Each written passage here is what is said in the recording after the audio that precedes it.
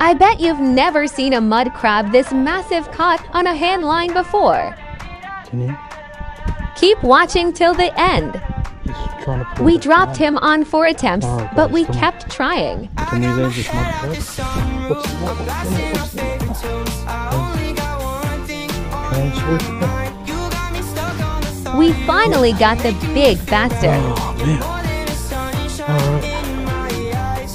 Huge.